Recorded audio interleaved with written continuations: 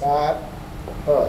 今天的名人书房应该是有史以来我觉得提纲最难拧的一次，而且很糟糕的是，在整个收集资料的过程当中，我完全被今天的书房主人给圈粉了，所以不晓得今天要怎么样的问下去。啊，欢迎唐凤。嗨，大家好。掌声鼓励。其实，呃，我第一次听到唐凤的大名，并不是在你当政务委员之后。是在之前，我在新媒体部门服务，我们社群的很年轻的朋友就提到了你的名字，他们的说法是说唐凤是神，嗯，然后后来当了政务委员，当然你的知名度打开，很多人就说唐凤是天才，好了，神也好，天才也好，这些都是仰之弥高的赞誉，当然讲的都是你的聪明才智，可是唐凤你是怎么去看你自己的聪明才智？你会怎么定义呢？不，那就是外界一些标签了，不一定要去迎合他们。对我来讲，其实最重要的还是互相倾听。那我能够互相倾听，就是别人的状况的话，那我自己就会觉得，哎，今天好像有变聪明一点。但我今天如果只顾着讲，而没有跟其他人学习的话，就会觉得说，哎，好像跟我昨天没有什么两样。哇哦，我觉得要学起来。嗯，原来是仔细的啊，聆听别人的讲话，可能会从别人身上吸收。但无论如何，你的。学习速度总是比别人快的，大概是在几岁的时候，有没有什么样特别的事件或者是状态，让你的父母或你自己发现你的学习能力其实确实有过人之处呢？呃，我应该是在上小学的时候，小学一年级的时候，那当时因为上数学课，那老师在黑板上面教加法嘛，那哎，我就有一点举手要问老师说，哎，可是老师你说一加一等于二，那但是我们知道在二进制、二进位里面，一加一是一零啊，并不是二啊，所以这是不是十进制还是什么？那因为其实小学还在学数感跟量感，可能还没有学到就是不同的进位系统，所以老师也不知道怎么办。后来就说，那上数学课的时候你就去图书馆看书就好了吧。是那个时候我才发现。说，哎，那可能就是我对于尤其像数学上面的兴趣，可能确实跟同班同学不太一样。嗯，但是那个时候你一个人在图书馆，等于是缺少了同才跟你一起学习，那会让你感到孤独吗？哎，当然啊，因为图书馆当时因为是上课时间，不会有别人在嘛。对，那但是当然有很多书。然后后来就发现说，等到我十二岁接触到网际网络，那就不是只是呃看书的书了，也是书写的书。等于我在看什么的时候，哎，同时也有人继续在书写。那我跟这些有人在书写的朋友们，一旦搭上线之后，他就不会管说我才十二岁或才十四岁，我们就可以一起来创作。那那个时候之后就没有什么孤独感。哦，果然是非常了不起。但是呃，其实，在十二岁之前，你已经写出城市了。嗯，对，大概是在我看资料，是你八岁左右的时候，那是一个什么样的过程？你怎么会去想要写城市呢？对，是在家里面有城市设计相关的书。那我看的时候家里还没有电脑，所以我就自己拿原子笔画一个键盘，然后再用铅笔去画出电脑的反应。所以每天醒来就会按 C O S Enter，然后拿个橡皮擦把那个铅笔都擦掉啊，就是因为 C O S 是清楚。所以你等于是用纸笔的方式来学习城市设计，是这样。因为就像呃一个建筑设计师，他也不一定要去砌那个建筑嘛，他也可以在纸上就画出他的建筑的想法跟草图一样。城市设计其实最主要还是那个运算思考，就是你怎么想一个问题，把它拆解成一些段落等等。那这个跟我们要写一篇很长篇的文章是很像的，所以不一定一定要用电脑。但是当然，我这样子用就是纸笔写城市，大概一两个礼拜之后，我爸妈就受不了，最后还是帮我买了一台电脑。哦，所以我觉得父母在你的整个自学之路上，其实真的是扮演一个很重要。的角色。那说到了自学这件事情，当然很多人会说，哦，唐凤是自学的天才什么的。但现在我们看到，其实一零八课纲已经跟过去不太一样了。那事实上，你经过那段路，你也亲自参与了一零八课纲的修订。是这样。在你看起来，因为毕竟你在那个时代会经过那样的孤独。嗯。我不知道可不可以这样讲？我觉得那个时代跟现在是不一样。对。那时候好像比较。不允许一些非正统的想象，对，但现在完全不同。你用你自身的例子，在那个制定各抗过程当中，你有给他们一些什么样的建议吗？对。我想有一个很重要的事情，就是我们现在在就是所谓的实验教育，呃，不管是机构的自学、团体的自学或个人的自学，我们强调都是小孩先找到一个他想要解决的问题，所谓 problem-based learning，就是想要解决什么问题，用这个来引导他想学什么，而不是说好像老师有一堆标准答案，然后老师说要学什么就学什么。那所以这种自发的感觉，其实就算是在体制里面，现在也变成教育的主流，因为大家发现说硬去背一些东西啊，考满分啊什么，其实随便一台手机都比比你背的多，背的好，这些已经没有什么意义了。那有意义的是每个人自己不同的观点，所以这部分就是自发互动共好里面，特别是自发的这个部分，是我们新课纲把这些实验教育的一些想法纳入我们的主流教育里面，所以我们才会在呃就是课堂里面有自主学习的时间啊，有校定的选修的课程啊，这些加深加广等等，让学生用他们自己的兴趣来引导说，哎，那我要往哪个方向学习，不是老师说了算，是学生说了算。嗯，可是在这个参与的过程当中，我会衍生两个疑问哦。第一个疑问是所谓的自发，你觉得他跟一个人天生的聪明才智到底有没有关系？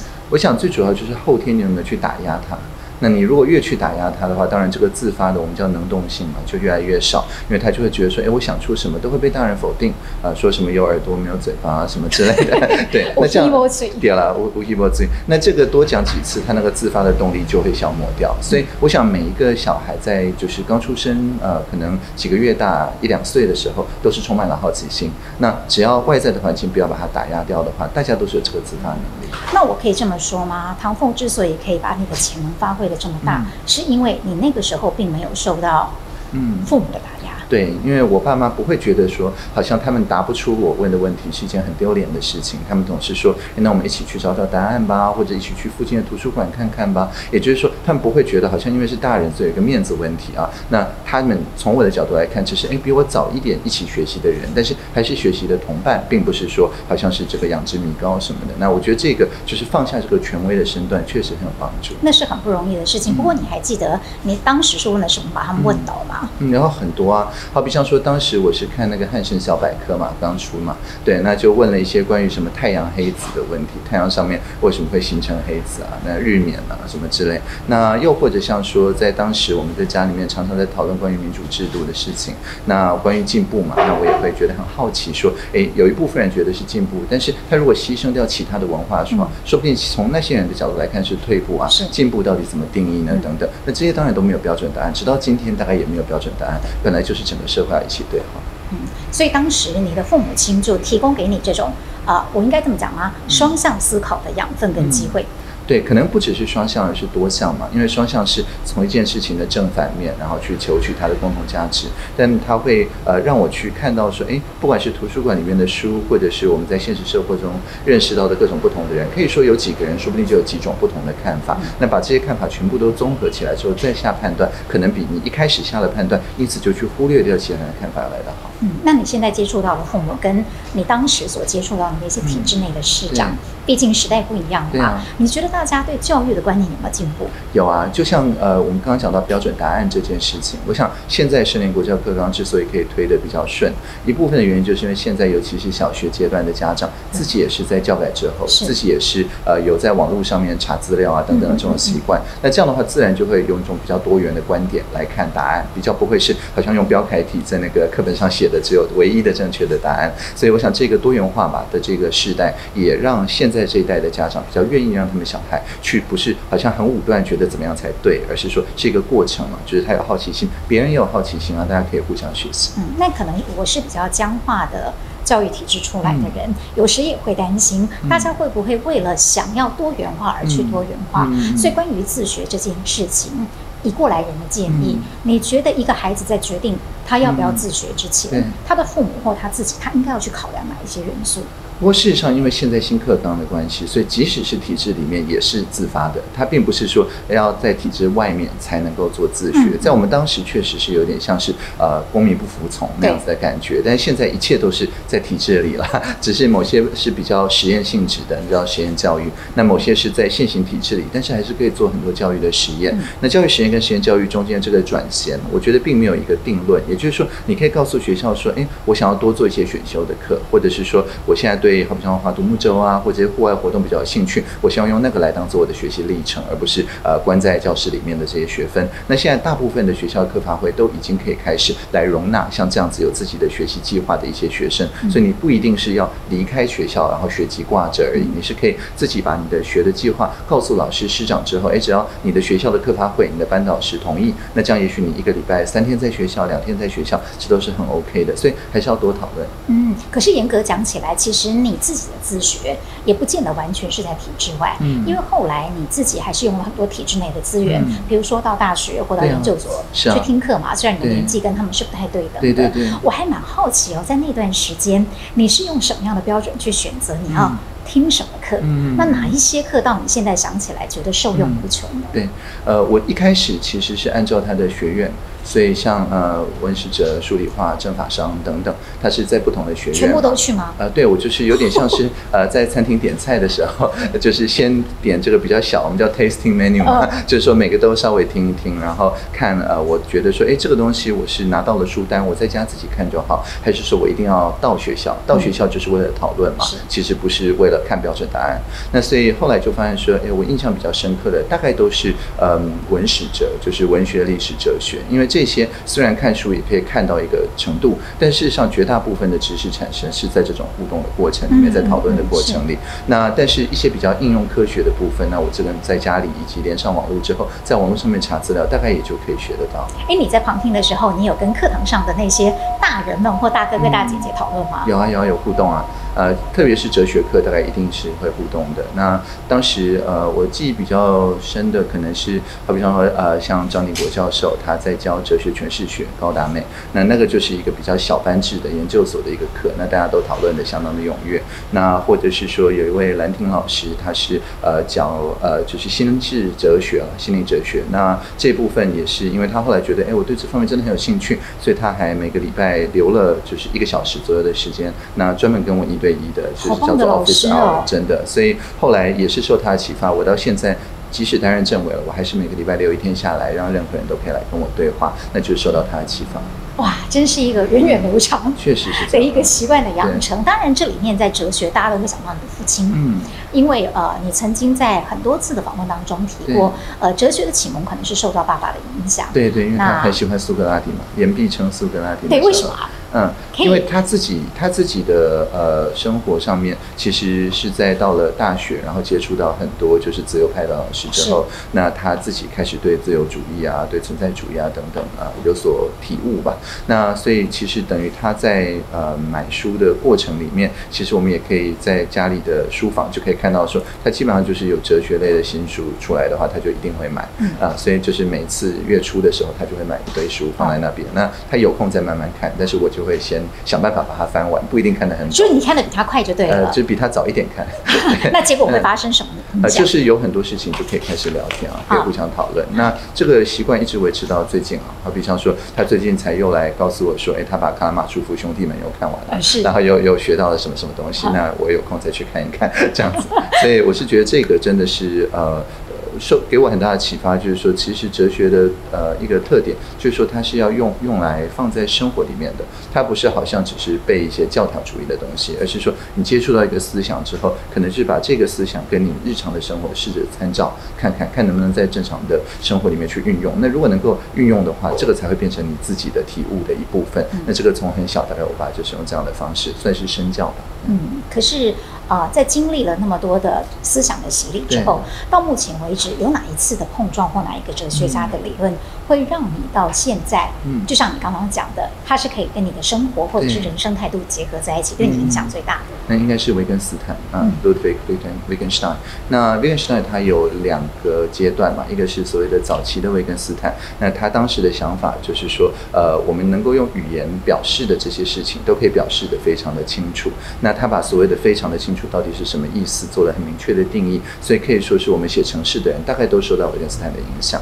那他的后期呢，就有点像现在的所谓的人工智慧，叫做深度学习，就是他发现说，诶，那语言不一定是讲的那么清楚的，有一些部分比较像是我们的经验或者智慧，它是语言的用法是只有靠不断累积你的经验，在那个用法里面去体悟出这些话到底是什么意思。那这个就比较像是先有资料，再从资料产生逻辑，而不是我们一般以前的城市设计是先写逻辑，然后再取得或产生资料。那这个部分是后期的维根斯坦的想法，那现在也是一个很主要的一个学派，所以我想他的前后期都是对我有很深远的影响。哎，确实很不可思议。我也是在今天的对谈当中，嗯我才能够去体会到说，原来这跟写程式对是可以相关联的的。因为大家都会以为说唐凤是一个理工人，嗯但是不知道这资料有没有错。嗯你曾经说过，你觉得其实自己比较像尼采，嗯嗯，有吗？有吗？呃，都还好。哦，那那个资料是错误的，delete 掉 我们把它删除掉。嗯那另外一方面，像你刚刚讲到呃，克拉玛族夫兄弟们，嗯事实上你们家也是一个非常文学的家庭。啊是的。主要你提过说是来自你妈妈嘛？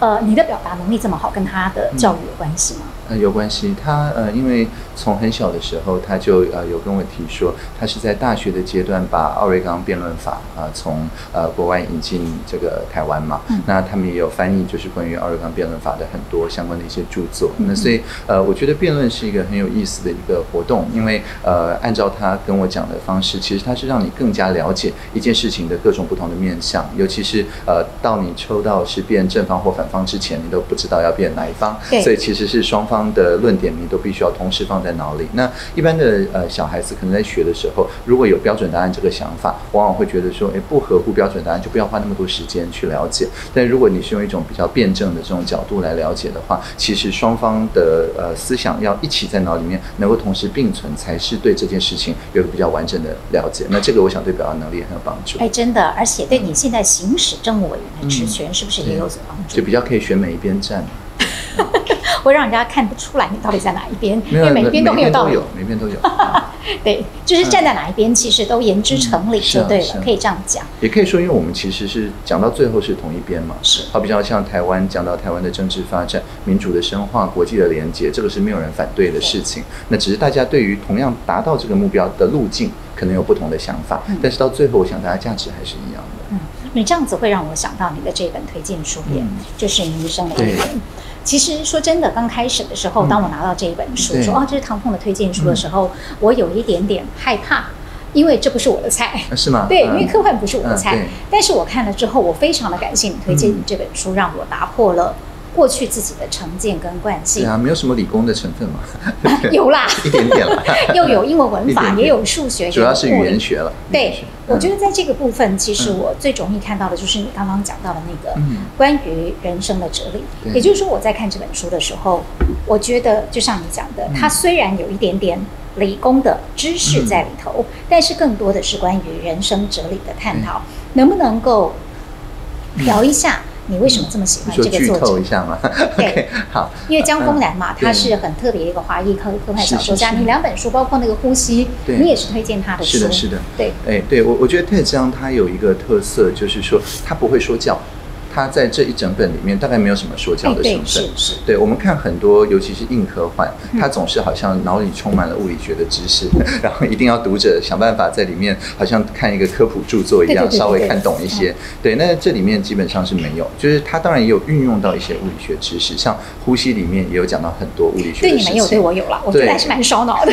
是这样，对，但是它主要呃在探讨的还是说，好比像说这个在讲的就是说，哎，我们如果已经知道未来会怎么样，那我们是会欣然的去接受它吗？还是说其实知道未来是怎么样这回事情，就会把我们的这个人生观把它抽象到一个呃好像变成在我们的人生外面的这个观点，以至于说自由意志有或没有，好像已经是一个很超然的不没有这个问题的这个情况。那我觉得这个是一个呃其实比较像禅宗啊或一些这个呃道家啊什么也都有在讲这件事情嘛，但是呃它比较是用文学的语法，那但是这个就是说哎没有啊，是一个外星人，他已经达到这个境界了。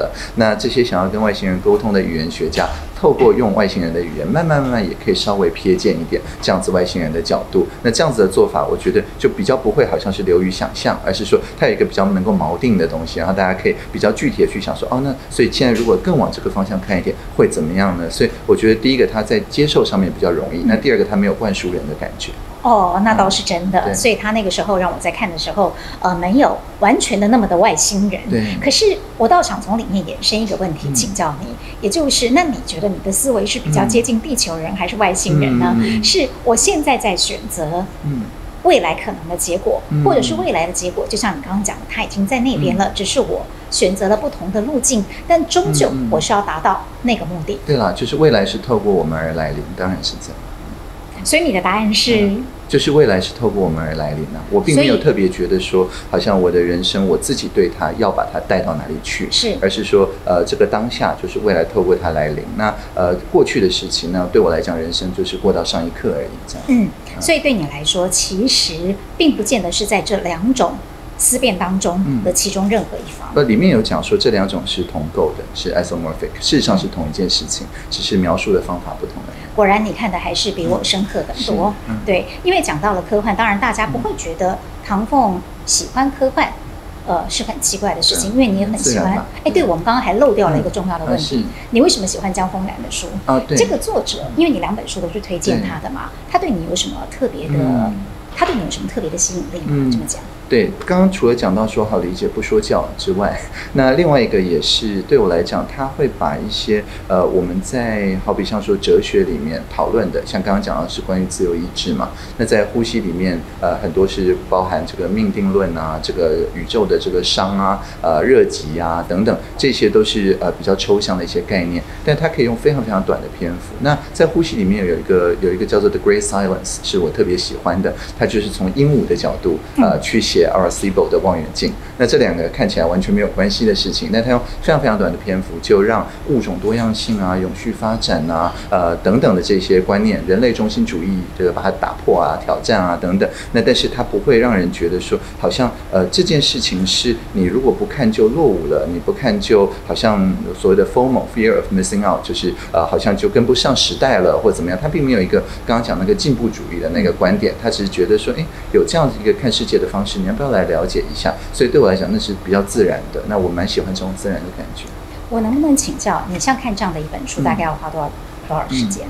呃，如果是只是要知道里面的剧情的话，啊那大概就是快速的翻过，可能十分钟、十五分钟。这里面四百页耶，对，然后睡一觉，睡一觉起来，呃，大概里面的主要的关键字就会在脑里。但是我不是这样看小说的，因为呃，这就好像说，呃，如果你要去爬玉山，那你坐个直升机上去再回来也是爬，但是那个过程就没有了嘛对。对那主要还是要享受这个过程。所以这个书我是慢慢一页一页看的话，大概也要两三个小时左右才能够就是享受那个过程。那什么样的书会让你想要快速的浏览，然后去睡觉？嗯把那个 data 放在你的脑子里。什么样的书会让你想要慢慢的去咀嚼它？嗯，嗯，我想文学性的大概都是慢慢的去咀嚼，因为呃我在快速看的时候，脑里是不发出声音的。那我但是觉得这很难耶。是，对一个好的译本，其实它的目的就是让你发出声音的时候是 enjoyable，是是让你开心的嘛。对，那所以在这个情况下，脑里如果不发出声音，那几乎就是完全否定这个翻译者 的的作品。那呃，其实泰斯让他原文就是英文写的，也是相当有诗意。那但是如果是纯粹知识性的东西，好比像说一篇论文呃的话，那对我来讲，看的时候不发出声音是比较节省时间。你那个不发出声音是自觉的还是不自觉的这么做？嗯，大概是半自觉的，就是一方面在看的时候，我会看到说，哎，那我心里有一些判断会生气。那但是这个时候，我如果去呃注重我的判断的话，那不免就会影响我看后面的这些页数。所以呃，把自己的判断稍微呃把它放下来，给他一个空间，但是不让它干扰我的阅读，这个是要花一些自觉的。但是如果心里没有判断生气，就只是一页一页翻的话，那一部分倒是自动的。然后你就去睡觉了吗？对，睡多久？呃，八小时嘛。但如果很困难的书，可能九小时。我看了那个《Tenet》天能之后，睡了十小时。对，但醒来就剧情都很清楚。这个是我在收集你的资料过程当中，我觉得最不可思议的一种嗯呃所谓的一个阅读的方式。你什么时候开始发现你可以这么做的？嗯，大概七八岁吧，小时候就就蛮清楚。嗯，所以你当时可以背下一整本书吗？其实不是背，它只是里面的那个结构有放在脑里。啊，我懂了。所以对你来说，其实它。对，没有 这样子才是真正的理解是吧是？嗯就是你并非从第一个字嗯背到最后一个字是，但是你完全可以理解里面他想要去表达的意思。对对，那也是因为我觉得是因为我八岁的时候开始接触到电脑，我发现有个东西叫全文检索，所以我不需要背那一整段，我只要知道里面的一个关键字，我回来用搜寻的，我就可以找到那一个关键字。但其实纸本书就没有办法这样子，所以为什么我几乎一定偏好电子书，就是因为呃我记得的关键词，它可以让我回到那一页，但是纸本就没有办法。哦，那我可不可以当场考唐凤一个问题？嗯是反正你这样子聪明，一定是考不倒的。嗯就是关于纸本书，因为你说过你是对纸本书没有依恋的人。嗯那像我就是一个传统的，一定要有那个翻页的感觉的那种老人家。电子纸也是可以有翻页的感觉，对，可以但是我没可以兼顾。我没有 feel。尤其它突然出现那个声音啪的时候，我觉得好像不太自然。啊好，那我们就来看看在数位时代嘛，这个纸本书有没有存在的价值，或者是在数位时代纸本书的价值？如果用两个不同的角度来评论它的话，你会怎么说？来，正方。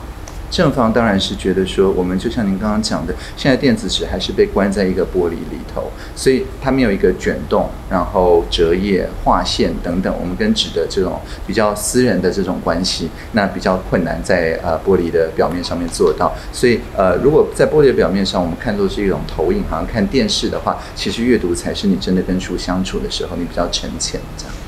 嗯，那反方如果说在数位时代，其实纸本书不见得有存在的价值呢？那就是说，很快的它就不会被玻璃所限制住了，很快就会有像胆固醇、易经等等新一代的，就是你既可以把它当做纸一样卷动，它又可以有用你用压力笔去感应，可以直接在上面写东西，但是呢，它又可以接下来就把它数位化，所以就会变成像《哈利波特》里面的报纸一样，就是你乍看起来是一个纸，但事实上你按一个键之后，它就变成一个荧幕，是可以播放的。那这样就同时有纸本的好处，但是又有荧幕的好处，所以在这样的情况下，可能家里还是要有一本书，但你按。一个建筑，这本书就会变另外一本书。好厉害呀！太佩服了，而且好出乎我想象的答案。但是据说你阅读还是有一些比较特殊的习惯，就算你并不太是阅读纸本，而是以电子为主，你还是要拿支笔。对，我要拿。为什么？对，因为笔的话，我在做记号的时候，就像这本书里面讲的，它可以在两个维度上面去发散。但是如果我只能用键盘的话，那就只有一个维度了。那这样的两种阅读的方式，有笔跟没有笔。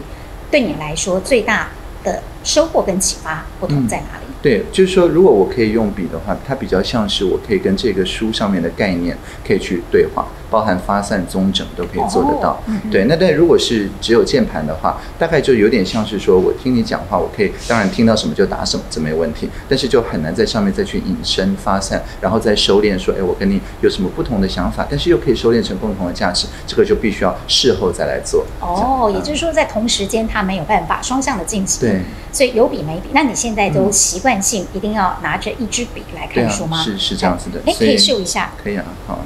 就是一支笔，然后可以拿了就可以书写这样。哇！就是像这个就两个维度嘛，对不对？一个维度比较难。真的是完全科技人的感觉。但其实就像我们都知道，唐凤并不是一个只是一个理工脑的人。呃，基本上你的文史哲跟你的语言能力都是非常强的。这个跟你在呃比较年幼的时候跟着爸爸有了各国的。游历跟跨文化的经历有没有关系？这当然有关系，但另外一部分也是在网际网络上。其实我们写城市的人有句话是迪彻斯特教授有句话说：一个人他城市写的多好，取决于他运用他母语的能力多好。所以其实写一个非常大的城市，就有点像写像浮士德那种，就是每每四行都还是要押韵，但是加起来又是一个非常大的结构的那种诗句一样。对，那所以这种呃训练就是大的结构，但是又能够注意到细节，这个在写长篇跟写城市是完全一样的，可以说是同一种能力。哦，那在跨文化的过程当中，大约是在什么时期或哪一个国家的文化曾经给你这样深刻的印象？嗯。我想，呃，我自己比较长时间出国，其实只有就是在德国，就是十一岁的时候。那当时给我一个比较深刻的印象，就是他们都把他们的小孩当做大人，所以呃，小孩就会比较像大人。对，那在当时，因为呃，在台湾的教育里面，还是有点把小孩当做小小孩，那所以呃，小孩就会觉得说，哎，那我还没有成年，那大人要负大部分的责任。但是在我去德国的时候，就发现说，哎，跟我的同班同学，我当时十一岁，我的同班同学才十岁，那但他们都已经非常的负责任。不管是在守时啊、守秩序啊，或者是自己去呃，就是负他自己承诺要做的事情，一定要说到做到啊，等等，大概都是已经有一个小大人的这个样子。那我当时就觉得说，哎，那这一套呃，不一定只有德国吧，应该不是人种的问题，应该是文化的问题吧。那所以这个对于我之前所说那个自发，就是后来我去了解说，为什么他们有这个能力啊？那是因为说他们要做的事情，并不是大人硬要他们做，而是他们自己想做。那自己想做，他才会想要说到做到，给出交代。你在德国待了多久的时间？只有一年。只有一年，你的德文可以讲得这么好？呃，就是还行，当时对。哦，还很厉害了。嗯。然后呃，法文也好。那是法国边境，所以多少要学一点。英文也好。呃，现在主要还是用英文。呃，有点不可思议，因为你说你是十几岁才开始学英文，十五岁，十五岁才开始学英文，是但是我们看到很多你接受外媒的访问，嗯不但是意思的表达非常的到位是，而且遣词用字也很精准。嗯，这种呃学习语言的能力，你是什么时候发觉自己可以学得更快？而且你有什么诀窍可以跟我们分享我想最主要就是要用那个语言思考了。啊？啊，你很容易转换吗？对对对对，就是呃，像我学英文，十五岁的时候，是因为我接触到一个叫 Magic 的 Gathering 魔法风云会的纸牌游戏。那这个纸牌游戏的一个特点，当时几乎还都没有中文翻译，就是它有一些非常难的字，所以一个简单的像 Counter Spell 这个呃字，它就会有什么 annulation、什么 dissipate、abeyance，这都是 GRE 等级的字。那但是那些反而是我的 native vocabulary，就是我刚学英文就是接触这些字。那就是因为维根斯坦后期讲的意义就是用法嘛，因为每一个这个字我脑里就会浮起一张牌，以及它在那个游戏里面能够操作的意义。那所以这个情况下，呃，我就是用英文思考，因为在里面的每一个牌的名称，它组成一个 deck，就是一个套牌，那以及这个套牌跟别的套牌的互动，那所有这些都是用英文定义的嘛。所以后来当时我也对这个游戏的规则感兴趣，也去学它的规则，甚至还参与新版的规则的制定等等。那所以这整个社群就是我们叫做嗯，就是 immersive community，就是你等整整个人浸泡在里面，那它不会让我觉得说好像我一定要文法很标准，或者是说我要呃就是循序渐进考多少分我才能学更难的词汇，基本上就是随时那样子的一个就是套牌的社群吧。正在讨论什么事情，我就开始去学那些字。所以同样的也是所谓 PBL，就是解决问题导向的这样子呃学习方式。这么多国的语言哦，它可以让你去随时转换到一个不同的文化的思维当中。呃，你觉得就一个人生嗯。的过程来讲，嗯。对你最有收获的是哪一点？嗯。当我有这么多的文化竟然在我的脑子里的时候，对，其实后来就发现说，其实这些就算文化乍看之下不一样，但是里面的就是关于呃永续的，就是不管哪一个文化，总是觉得说，哎，我们登出这个世界的时候，这个世界要比我们登入的时候好嘛。那这个也很合理，因为如果一个自我毁灭的文化不会传到今天，是所以我们到今天的文化大概都有这个特性。嗯那所以不管是刚刚讲到的包容啊、永续啊等等这些价值，虽然在每个文化里面有不同的讲法，好比像说我们现在讲可能是仁义道德的人，那可能到了呃非洲，可能他们叫 Ubuntu，那但是事实上都是非常像的一个意思。所以去呃看到这个共同的价值，我觉得就是看了那么多不同文化之后，有一点好像是互相切磋，那最后留下来的部分就是一个比较呃明白的一个部分，这样。到目前为止，呃，有没有哪一方面的文化、嗯或哪一个国家地区是嗯特别的吸引你的？嗯，我想台湾当然是特别吸引我啊，因为台湾本来就是一个非常跨文化的一个所在嘛。呃，我们现在当然有二十多个国家语言，那但是呃除此之外，各种新著名的语言啊，而且特别是今年啊，有各种就是本来只是来观光，但是后来变成就业金卡，因为不想走了 的朋友，都有带着自己的文化过来嘛。所以我觉得台湾本来就是一个非常多元文化的地方，那但是我们现在的一个呃 identity，我们的认同也变成是以好像跨文化的这种创新，变成我们的认同的一部分，所以台湾真的是很棒。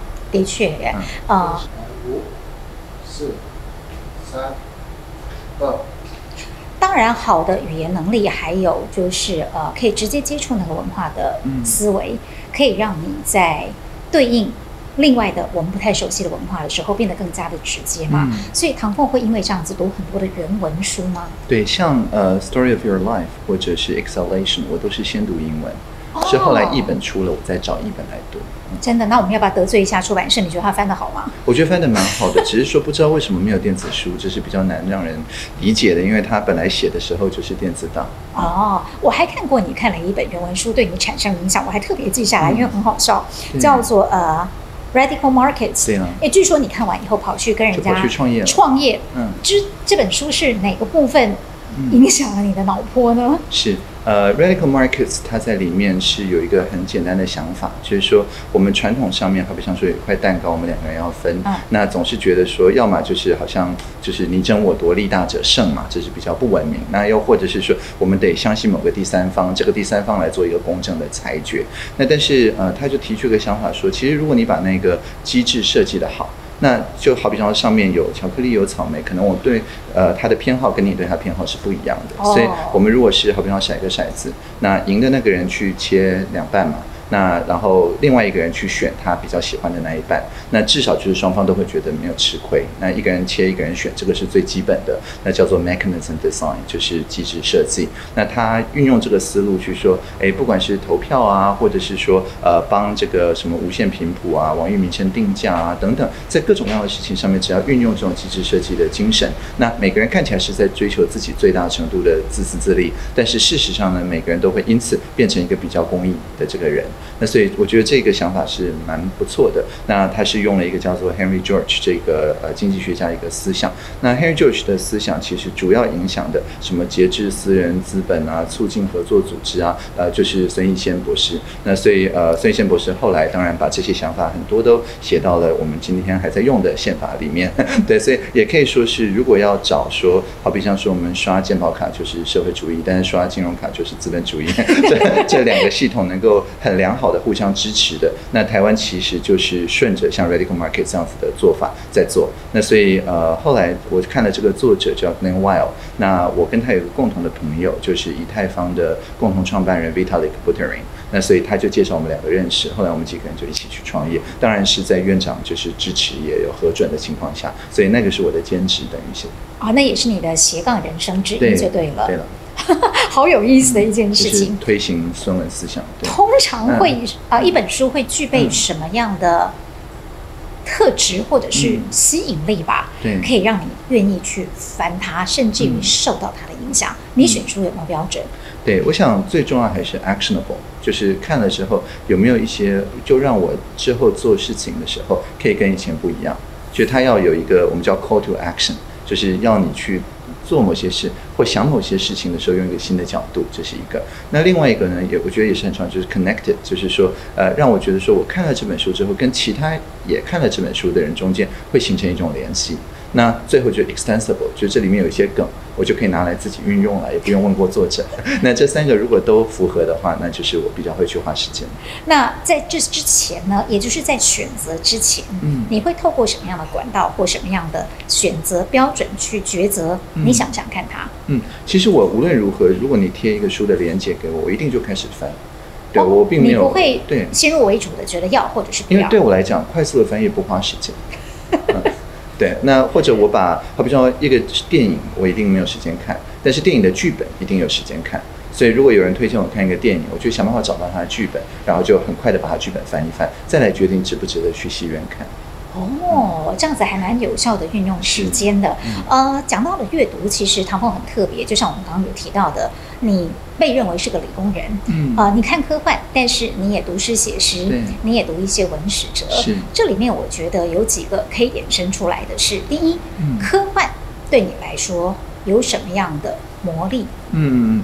我觉得科幻它有一部分的魔力，就是在告诉我们说，我们现在所处的这个世界，那只是因为我们目前的技术啊，或者是科学的理解，所以让我们用这样的方法生活。但是呢，如果有一个新的发明出现了的话，那说不定呢，它就会让我们的生活变成完全不一样、截然不同。那有很多科幻小说都是在介绍这样子的发明。那为什么江峰南那么棒？就是因为他不会花很多时间来灌输 你的后面的科学原理，但他会花很多时间来描绘说，诶，社会因为有了这个发明之后，会有怎么样子的，我们叫做社会的影响力会出现。嗯，所以对你来说，创新是很重要的。对，就是它会对社会带来什么影响力，而影响力也未必是好的。所以像黑镜啊这种科幻，就告诉我们说，诶，如果带来不好的影响力会怎么样？我们要怎么样在研发这个技术的时候就去避免它？嗯，看起来好像走在很前端，但其实你也喜欢一些很古老的东西。嗯，像我们刚刚讲到啊，卡拉马祝夫兄弟们，你看那已经是多久以前的书了？但是到今天仍然是经典。对你来说，什么是经典？经典的意义是什么？对，我觉得就像刚刚说，actionable, connected, extensible，只要有人还在研究它。只要有人还在看了之后觉得，哎，那我们是一起来看这件事情、研读这件事情的社群。那这样子的话，这本经典其实在每个时代重新活起来。好比像说，我常常所以跟它的年代是是无关的。我常常看的一本书叫做《Finnegan's Wake》，那这本书不断的都还在出译本嘛，但最近才又出了一个台湾这边的中文的译本，呃，叫做什么？呃最醉生梦死记哦啊、那所以像芬妮跟守灵的这样子一个社群，其实就是全世界觉得还愿意在呃自己的人生中花蛮多时间，因为那本书真的没有那么容易看，那去把那本书里面的那些音韵啊、那些意象啊，再重新对应到我们目前所身处的这个世界，所以它就不断的透过诠释而发生意义。所以对我来讲，它倒不是说它几千年或怎么样，像《道德经》也一直都有新的译本，诶，最近才有一本新的 在台湾这边的译本。所以在这个情况下，等于只要还有人愿意做诠释工作，这个经典就一直是活着的。所以你也看《道德经》吗？啊，是啊，嗯。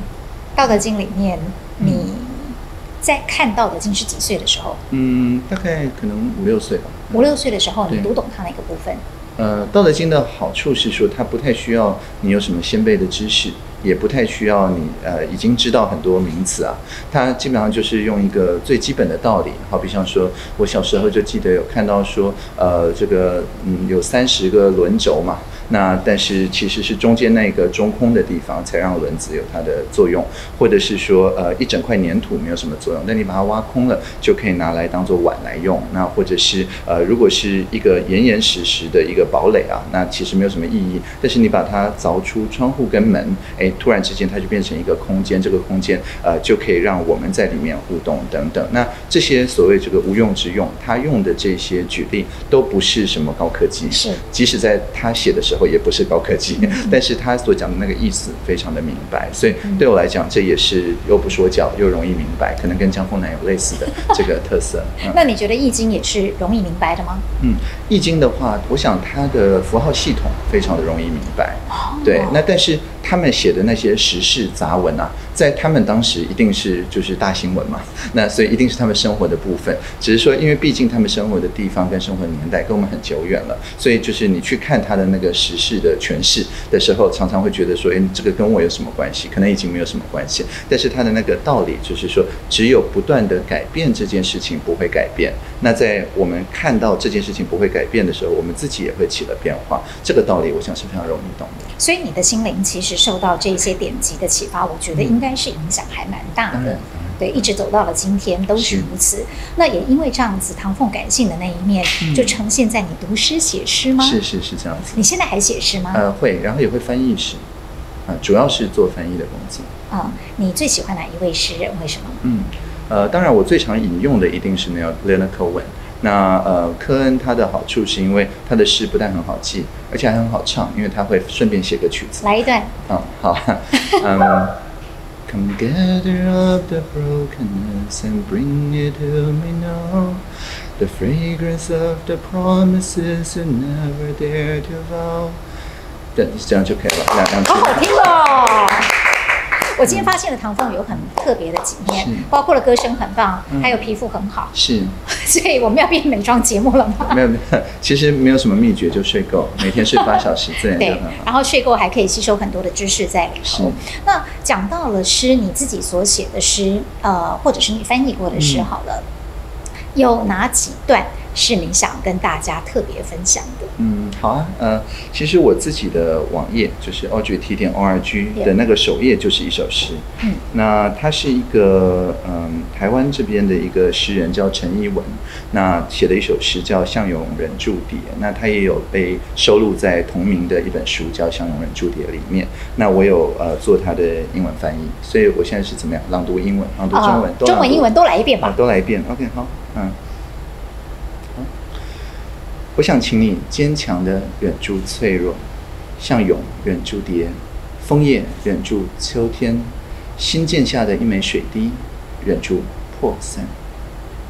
我想请你平衡内在的美丽，如雪花。再一次，我想请你平衡内在的美丽，如雪花的结构，流苏的四瓣，泛黄的纸卷上，夜静春山空的一首五绝。我想请你宽容一株水仙的秘密，原佑一江一条越江的曲折，直视阴雨直落的灰霾天空，如同倾听一句赤裸的悼词，向海洋拥抱一场暴风雨的告诫。然后，或许你愿意走上没落的边城，繁华的都心，看看生，看看死，看看一切热闹与无常，尊严与肃杀。生命有时静美如诗，荒凉如漫。积积月如鹰翱翔，寂寞如悲蒙尘。至末时移境迁，容颜更改。旅途的很久了，我们回到出发时的房间，原点与终点绕成完美的环。我将认出你标定我的眼神，洗练真定，完整的于暗室中反射出简净的光芒。好，这是中文的部分。其实从来好有从来没有念，感情从来没有哦念过中文的部分。OK，嗯，好，所以然后英文嘛你帮他，好你帮 OK，他翻译是成英文。 I would like you to firmly resist your weakness, like a chrysalis holding back a butterfly, a maple leaf resisting the autumn, a newly splashed droplet resisting breakup. I would like you to balance your inner beauty, like a structure of a snowflakes, the four petals of a finger tree flower, a quatrain on a yellowed paper scroll, a still night in empty spring mountain. I would like you to tolerate the secrets of a narcissus, forgive the twists of a moonlit river, look straight at a murky sky as rain falls down, just like listening to a naked prayer, like the ocean embracing the absolution of a storm. Then maybe you would be willing to walk through a declining border town, through a prosperous metropolis, see life, see death, see all the bustle and transience, dignity and cold lifelessness. Sometimes life is as quietly beautiful as a poem, as desolate as a vine, as intense as a soaring eagle, as lonely as a dust covered stella. And so time passes, places alter, faces change. It has been a long journey. We return to the room we set off from. Origin and destination curl into a perfect ring.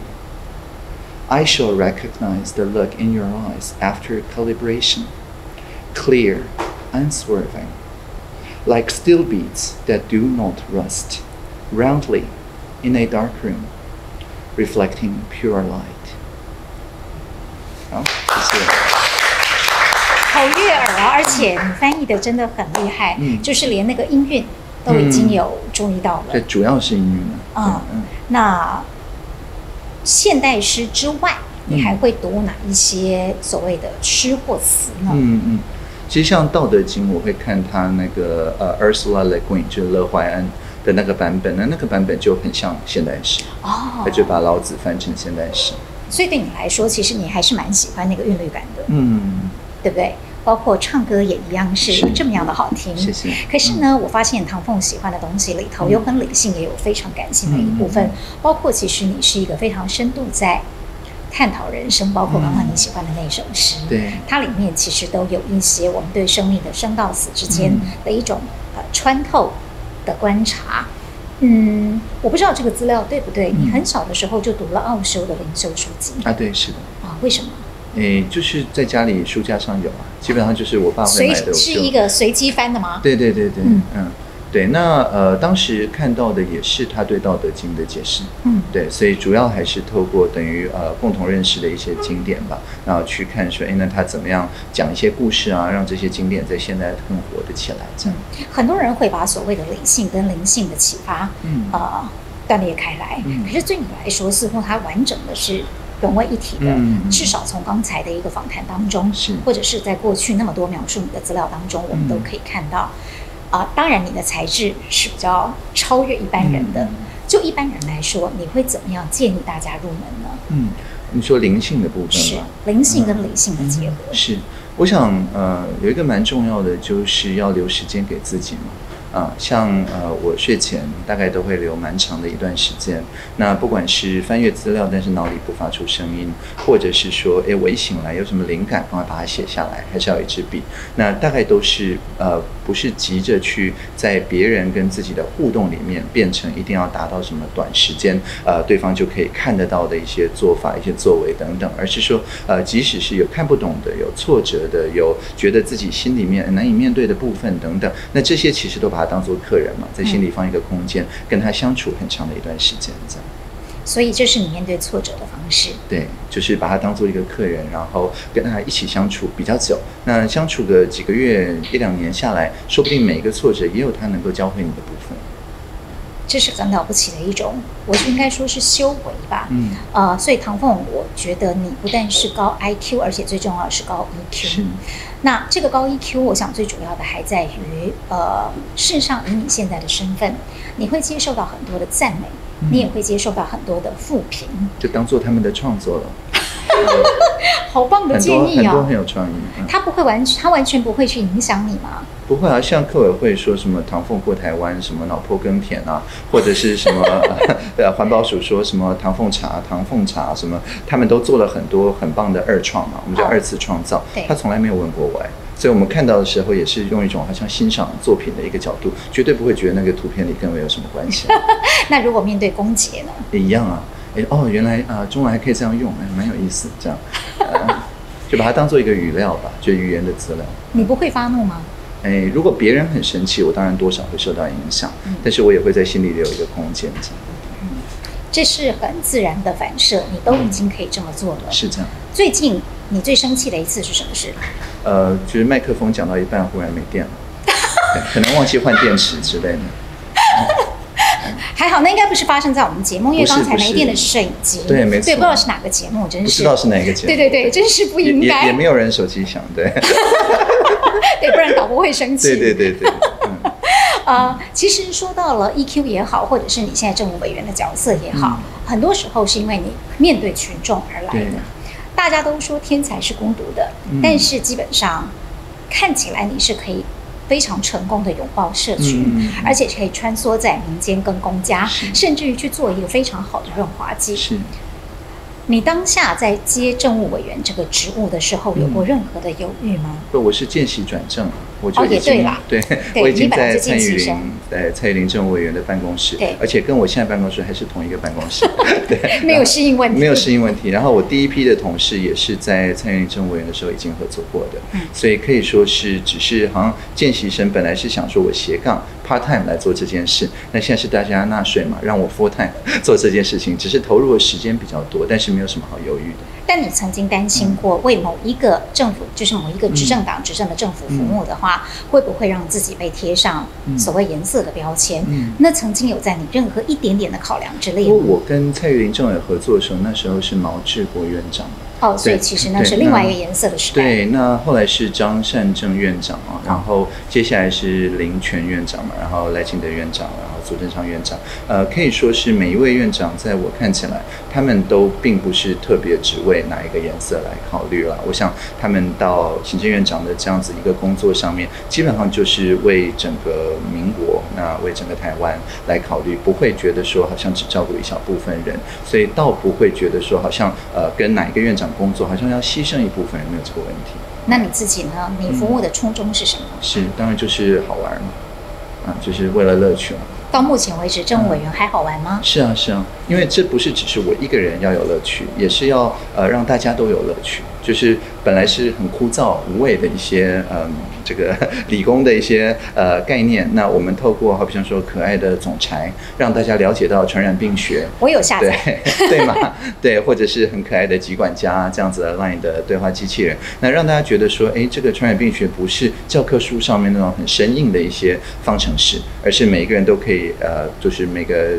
嗯，现在每个礼拜以前每天下午两点，呃，听那个带状节目，就是指挥官的带状节目，慢慢就会每个人都是能够进行一个社会创新。那我觉得这个也是蛮重要，就是说，如果我们自己有一种好像我们是专家，我们最懂，那不让人民来参与这个议程的设定的话，那其实那人民也会觉得说，那政治跟我没有关系。但是呃，因为像指挥官他也是一个很好的榜样，就是呃，他每一次有人提一些很天马行空的主意，他总是说，哎，教教我们嘛，一起来想一想嘛，哎，你早点讲嘛，等等，他总是一个非常邀请的一个态度，所以有点像比马龙效应嘛。所以这个民间哎看到说，哎，他这样子呃愿意去采纳大家的观点，那民间当然就要提出值得他采纳的一些创新，所以这样共创才有可能发生嘛。所以呃，当然乐趣是非常重要，但不是我一个人的乐趣，大家的乐趣。你讲到了创新，我倒是想请你介绍一下。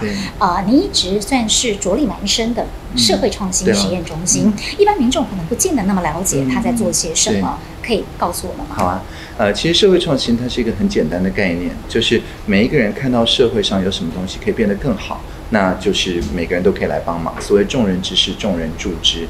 那以这次的疫情来看，好比像说口罩地图就是一个社会创新，其实完全不是我们公部门的想法，是台南的呃吴占伟嘛，后来江明宗，那他们觉得说，哎，每个人要排好几次队，那这个是很浪费时间的，所以不如收集一个地图，让大家一出门就知道说要去哪里才买得到口罩。那他们有这样子一个起心动念，也自己去吸收了一开始创新的成本，像吴占伟当时。就欠了 Google 大概六十万。那这样子的情况下，我们的工作像在社会创新实验中心，一方面是增幅，就是让大家都知道，各部会都知道，哎，有这个新的创新出现了，比我们做事情的方法好，所以我们应该是去鼓励、去资助它，而不是说好像我们自己要另起炉灶。那二方面呢，我们也是帮忙进行一些呃谈判嘛，像比方跟 Google 的 CSR，就是企业社会责任的部门去讲说，哎，那我们在新闻稿上，在我们的网站上，把你们 Google 的品牌打出来，可不可以就免了它这六十万的债？对，有成功啊！哎呦，对，就正如同他免了我们的债，这这些都是一个免费使用的。那在这样的情况下，这样子的创新的土壤才可以比较永续，不会变成说他用他自己的呃这个个人的存款撑着，撑两三天可能就倒了，而是变成接下来就有一百四十多种各种各样不同的，在口罩地图的基础上面，包含对话机器人啊，包含这个供需比例的分析啊，有一个还是高黄安委员嘛，拿来质询指挥官说，呃，这个乍看之下是很公平，但是你如果抽高这个视野来看，哎，其实就有不公平之处。那指挥官当然马上说啊，委员教教我们嘛。那我们隔天就改善了，这样，所以这个也变成就是公共讨论的一个基础。但是一开始都还是在众人之事，众人助之，就是任何人都会觉得说，哎，这件事情有公共利益，那我也来帮点忙，而不是等着大的企业或政府来进行创新。嗯，那任何的创新都可以来到社会创新实验中心对，是的，是的。那我们现在的想法就是说，只要你呃在联合国的就是永续发展目标一共有十七个目标，任何一个能够对应到你的创新的公共利益，那你愿意常常有点注册这样一个。态度的话，那你所在的这个组织，不管是呃它是盈利形态，好比像说公司，或非盈利形态，好像协会、基金会，那或者是在中间的，好比像说合作组织等等，那你都可以呃非常呃容易的来使用我们的这些资源，那也可以来办活动啊，也可以进驻成为我们进驻团队啊等等。那也不是只有在台北而已，事实上在呃全台湾大概六七个地方都有类似的社会企业以及社会创新组织相关的一些育成孵化器等等。哦，所以它。严格的来讲，啊，应该或是说比较宽松的来定义，它算是一个呃创意的育成中心。对，那只是说这个创意有两个特点嘛，一个是它是为了公共的利益，是。那第二个是大家都可以开放的来参加。哦，所以这也就是你一直都很坚持是开放源码的对一个坚定支持者嘛。开放源码也是一种社会创新嘛，就是我们写软体的人愿意抛弃掉著作财产权。嗯。那原因当然是因为一方面我们大家都可以投入研发。不用自己重新发明轮子。那二方面是说，它的维护的成本等于大家分担掉了。嗯嗯，这个是非常有道理的一件事情。但是以你们啊，从像你从小写城市到现在，城市语言已经是你生活的一部分。是。但对我们很多人来说，可能是非常陌生的。嗯。特别是你现在必须是一个政务委员这样的一个身份的情况之下，不管在刚入阁面对官员，对，或是官僚系统，还是在面对一般民众的时候。怎么去克服那个数位落差？嗯，我想大部分人其实都有学过设计，那所以城市设计只是学设计的一种入门。那但是不管是空间设计、产品设计、文案的设计，或者是互动设计、服务设计，这些都是设计嘛。嗯所以我想设计思考才是最重要的这个共同的语言。设计思考简单来讲就是说，我们有一个新的想法。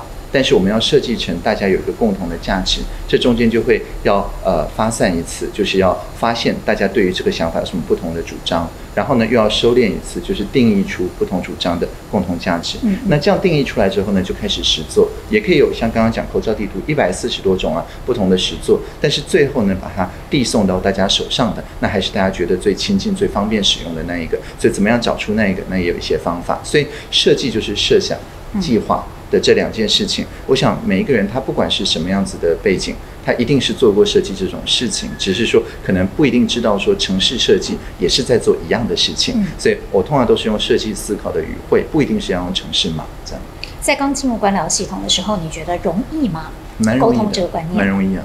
因为呃，我们在呃就是公共服务上面，其实也是一种服务设计。那最大的不同只是说，以前在私部门工作的时候，我们只要照顾我们的客户，嗯但在公部门的时候呢，呃，就是你不能说，哎，报税软体不好用，你就找一个别人报税，这不容易，要移民啊。那或者是说，呃，这个健保不好用，那你另外找一个全民保险，也没有另外一个全民保险。所以在公部门设计的时候，我们特别要在意涵容性，就是 inclusion，就是那些呃我们在一开始可能没有设想到的朋友，反而才是应该我们第一时间就去找他们来。那像之前我有分享过，我们在设计口罩实名制，那到后来甚至便利商店可以直接购买口罩的时候，都是请啊、呃我八十七岁的阿嬷推荐她的年轻朋友，大概都七十七岁，啊的，他对他来讲 年轻的朋友，呃，然后实际去那边走一趟这个过程，那这个很重要，因为对他们来讲，呃，就是呃去药局排队其实是很麻烦，那而且他们身体也不一定很方便，所以我们就是在社区里面找那对在药局排队呃骂的最大声的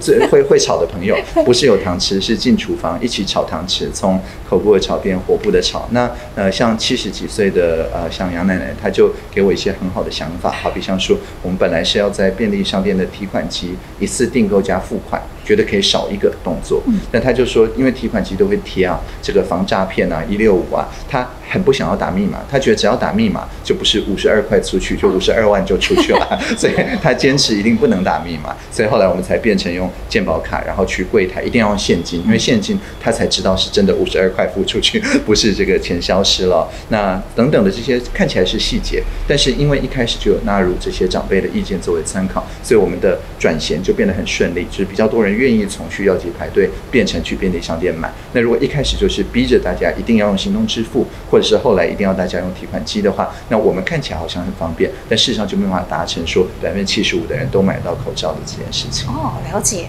其实从唐凤的语言当中，我们好像觉得科技离自己没有那么遥远了。啊那再问一个可能对我个人来讲，我觉得我承认我比较愚蠢一点的一个问题，嗯就是好，五 G 时代来临了对。很多人根本不知道五 G 到底是什么，嗯四 G 已经很好用了，啊为什么要进阶到五 G？、嗯它对我们的生活即将要产生什么影响？嗯我同样想请唐凤用很浅显的语言跟大家解释。是，呃，其实我们如果在视讯的话，这是最容易观察到的。如果我们两个各自在办公室里面，然后有光纤，或者是透过 WiFi，从你点头到我看到你点头，我也点头，这个是中间差不到可能十六毫秒。对啊那这个情况下，我们就是呃，虽然还是知道自己在对着荧幕或对摄影机说话，但是呢，至少我们有一种好像我们在同一个空间的那种感觉。但是呢，如果你到户外，然后用四 G，然后同样视讯，就不是这样子了。呃，我们看影片的时候感觉不出来，是因为它一开始会有一个缓冲嘛，它就算要多绕个半秒钟，那你播放之后都一样。但是如果是视讯，我也是用四 G，你也是用四 G，从你点头到我看到你点头，常常就隔了半秒、一秒。那这个时候呢，你就不知道你点头是在我的上一句话点头，还是我的这一句话点头，那共同在场的感觉就消失了。所以五 G 就是说，你即使是在呃户外，你即使是出了门没有光纤网络的地方，你还是可以像有光纤网络的地方一样，有一个共同在场的感觉，有一个很低的延迟。嗯可是呃，低延迟它固然可以去塑造一种比较真实的临场感，但是因为它收集数据的能力也增加了，嗯。所以我另外一个联想到的是关于隐私权的问题。嗯。在数位时代，关于隐私的问题，嗯。呃，你认为应该要怎么样去解决？对，我想有一个很重要的一个观念，就是说隐私权它不是只是一个被动的，好像说我不想要被搜集，它有一个自主权的部分。因为按照我们的个人资料保护法，任何人收集你的资料的时候，他不能够给你一个合约，你看都没有看就打了勾，我也常常这样啦的情况下去抛弃掉，要求对方呃给出一个副本，要求对方去更新，要求对方删除的这些权利，这个在我们各自法里面是不可以用合约来抛弃的。就好像是你在网络上面买了一个东西回家，那如果它上面附一张条子说，哎，你已经在网络上答应说你这个七天试用期抛弃掉，那你一拿到就必须要付钱了，你也不能够退货，那这个其实是无效的。啊七天试用期是无论如何都要有的。那如果真的有什么问题，你可以往公平会啊，往很多地方来检举来申诉。那但是比较少人知道说关于各自的搜集，你也可以主动行使要求副本、要求更新、要求删除的这些权利。比较多人知道说七天之内一定可以退货。对对对所以所以我觉得这一部分的还是我们需要有一个类似像公平会这样子一个独立的各自的一个专责机关来提醒大家说，哎，如果你觉得甚至不是说你隐私已经被侵犯，你觉得可能被侵犯，你要怎么样邀这个呃收集资料的人来给你一个交代，这样。哦，所以 呃，外传，当我们的脸孔被辨识了，当我们在照相比个耶，嗯都很可能会不小心的被收集了我们五官跟脸型的特征以及我们的指纹，这是正确的吗？这个要看它有没有传输出去嘛。好比像说现在有一些手机，或者是呃我用的那台平板，它是用脸孔来解锁，没有错。但是呢，它的脸孔解锁里面的那个晶片，它并不会把它收集到的这个脸孔的特征传到任何地方，哦而且它里面也不会放别人的脸孔，它只放我一个人的脸孔。嗯所以这个呢，就我们叫做 value alignment，就是说它是以你的最佳利益为利益而行动，而不是为广告商或什么谁的利益。那第二部分就是说，他要给得出交代，就是你要告诉他说，诶，那我现在这个整形过了什么，就是呃换了一张脸啦，或者是说我要建立不同的指纹啊等等，他随时都要给得出交代，说，诶，那删除就真的是删除了，或者是说你更新就要及时的去更新等等。那如果他既是以你的最佳利益为利益而行动，而且也能够不断的给得出交代，那这样子的话就比较可以是能够正德吧，就是呃你就比较会信任。那其实我们在大部分的信托关系，好比方说跟我们的医师啊、护理师啊、会计师啊、律师啊，也都是如此嘛。那他们的工作里面也会碰到很多隐私跟个人资料，但是我们为什么还愿意跟这个医疗人员一起工作？当然就是知道说，诶，他是第一个为我们好，那第二个你随时都可以要求他给出交代。那这两个如果给得出来的话，慢慢你就会愿意跟他有一个伙伴关系。但是如果他发现诶给不出来，或者说诶背着你就把它卖给什么广告商，那当然就比较不适合用这样的方式哦让他搜集你的资料。所以还是要问说，他搜集这个资料是把你当成产品在卖呢，还是说这个是卖给你的一个产品？这样嗯，我们是很害怕被当成产品卖，或拿来当做吸引广告商的一种、呃所谓的数据基础。确实啊，对，不过很谢谢你今天解答了我的疑问哦。我希望我的疑问在大部分的人里面还算在中阶，嗯对很棒并不是太低阶的。好，但是呢，呃，也因此我倒是很好奇，你会怎么样告诉一般人，在数位时代，嗯，因为我们可能是又期待又怕受伤害的，对。所以我们应该要用什么样的心态或什么样的知识来拥抱科技？对，呃，其实 Steve Jobs 有讲过一句很好的话，他说，呃，computer is like a bicycle of the mind，就是电脑就是心灵的脚踏车。那大概记得这样子的讲法就不会错。脚踏车是以你的最佳利益行动，当然，因为你把它转向哪里，它就往哪里开。它并不是好像呃，就是你坐上去之后，你就什么事都不用做了，你还是要决定方向，而且一开始踩那一下踏板也是你要踩嘛。那所以这个情况下就是保持住你的能动性，而且它的这个价值也是由你设定的。那如果有一些嗯，就是是让你上瘾。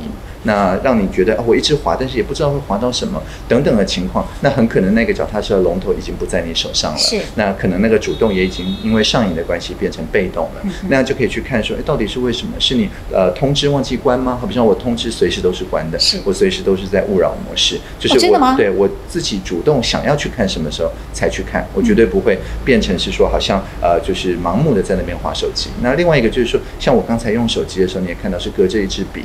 在使用，所以我也不会有个错觉哈，它变成我的身体的一部分。那这个情况下就比较不会说，好像手机被拿走了，有一种好像幻肢不见了的那种呃痛苦的那种感觉。那也不会因此就变说，哎，上面不管跑什么城市，我都觉得说好像是我不可或缺的一部分，也不会这样。所以大概就是两个具体的建议嘛，一个就是说，呃，在决定要用数位工具做什么的时候，是以你自己的最佳利益出发，不是以对方的最佳利益出发。那第二个是说，当你发现说这个工具对你来讲好像有点反客为主，好像是呃你一天没有看到会觉得自己的手这个会发抖啊，会有戒断症状的时候啊，那可能就要想一想说，哎，是什么样的情况下你可以保持一点距离？那对我来讲，隔着键盘、隔着笔，这个距离是刚刚好的。当然每个人可能不一样。那当然，因为我们是名人书房，是个阅读节目嘛，所以呢，还是得把话题我们用数位绕回到书籍当中。呃，在你的唐凤，你是用什么来阅读你的电子书？你的工具？就刚刚你的电子阅读器，对，就是你的平板。呃，上面有多少书？诶，蛮多的，而且我大概都是想到什么我就直接去找。哦，所以可以说是整个 archive、整个 Gutenberg project、整个 WikiBooks 什么都都可以，全部都可以放在都可以算是常数。对，嗯，那所以呢，如果我们最后想要请你用一两句简单的话来形容阅读之于你是什么，你会怎么讲？好啊，呃，我觉得阅读来讲，就是对我来讲，就是说我透过一些文字，那进入一个新的时空环境。这个新的时空环境里面，我也不再是我，我好像进入了那个作者的世界，然后用他的方式，用他看到的事情，呃，用他听到的、感受到的事情，呃，过一段跟我本来的人生完全不同的一个人生。谢谢你，好精彩哦！但是呃，我还要很贪心的想在后面追加一下，因为既然呃会讲这么多国语言，唐风到底会讲几国语言？嗯，大概拍过吧，三点一四之类。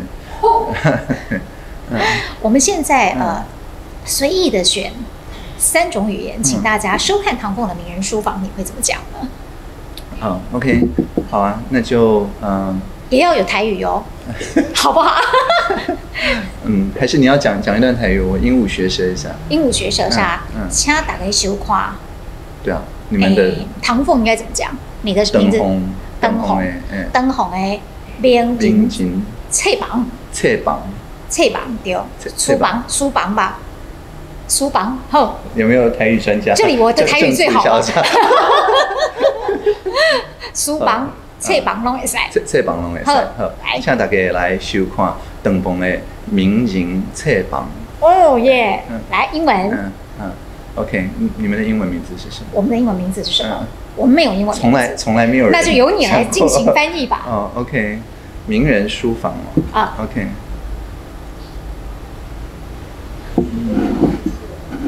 我觉得没有要一定要翻译啊。好，这个怎么翻都有点怪怪的。好，OK，嗯，Celebrity Study，可能那样好像是名人研究学。呃，不要，不要有想，不要相信这些英文不好的人讲的建议。啊，真的，徐威说是 Celebrity Study，Celebrities 有一个 apostrophe 吧，Celebrities，哦，嗯，Study，好，是名人的书房还是？把名人当书放的书房。It's okay, up to you. Okay, okay, 好啊，嗯。So welcome to Audrey Tong's Celebrities Study. Yeah. 好，那如果来个德文呢？嗯，好，呃，那德文要叫什么？哦，很失败。OK，那这个可能要要查一下。我用我用还是用汉语讲一下好了。哎，第三个就，嗯，我是唐凤啊，欢迎大家来看。唐凤的名人书房。哦，谢谢谢谢，真的谢谢唐凤，今天让我们大开眼界。谢谢对，听你讲话，我必须要非常的专注，是，否则的话，我可能一下子漂移过来，你已经讲到下一句去了，嗯，所以我一定要 keep 住你的每一个发音。你今天语速也是大概快三百个字 每分钟，对对对，我必须要跟上你。是是是，谢谢谢谢。